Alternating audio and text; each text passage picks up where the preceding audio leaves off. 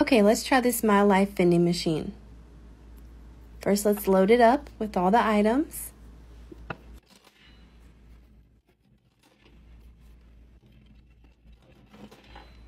All right, next we'll pick the mixed berries for 25 cents.